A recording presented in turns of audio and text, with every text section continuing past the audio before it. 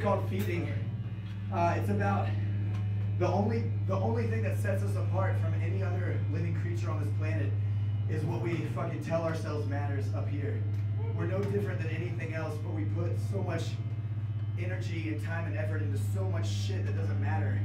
And this song's not about primitivism and moving out of your house and moving into the woods. It's just about rec- recognizing that you're no fucking different from the animals or the insects or the fucking trees or anything. It's called feeding.